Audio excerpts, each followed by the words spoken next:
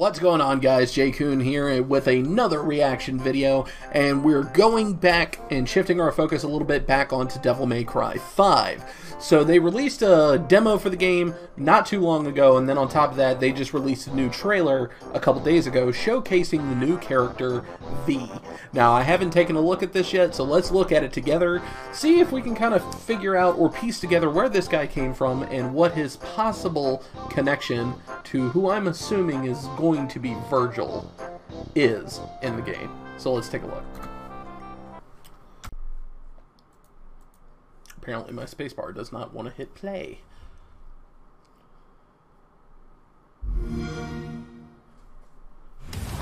I curse my stars in pit of grief and woe.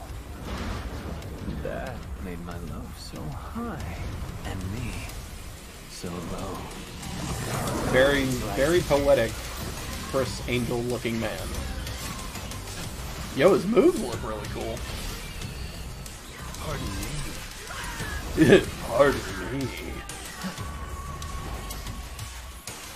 I have no name. Okay, so is his his source of movement the bird or the cat? Because like we Just almost kidding. don't really see him run. You Period. can call me V.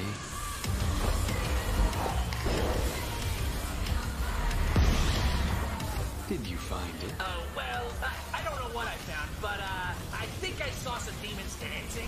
Well, then I guess we keep going. The Devil's Sword Sparta is nearby.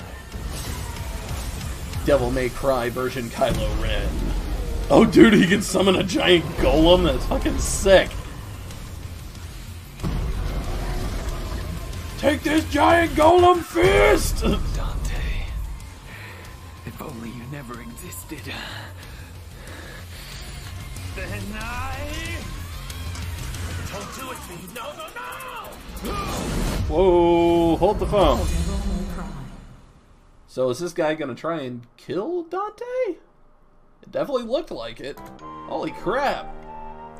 So yeah, V definitely looks really cool.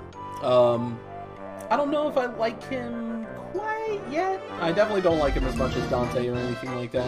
But he definitely looks interesting. Shut up, trailer. We're done with you. He definitely looks interesting, and he's obviously a good fit for this series.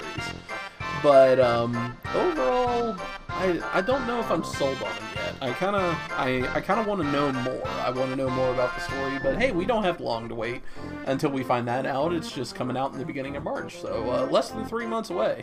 Well, no, little over three months. A little over three months away. But thank you very much for watching. I appreciate the support. As always, if you like what you saw, tell me what you thought about uh, V in this trailer. Leave a comment down below. And if you like what you saw, please hit that subscribe button and tap the bell icon. That way you always know when I have new content for you to watch. Thank you again for watching, and I'll see you guys in the next one.